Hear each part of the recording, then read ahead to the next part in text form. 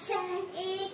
छुट्टी एक छुट्टी वाली दिन एक अच्छी सी किताब एक मीठा सा सवाल एक ठंडा सा जवाब कोई लाके मुझे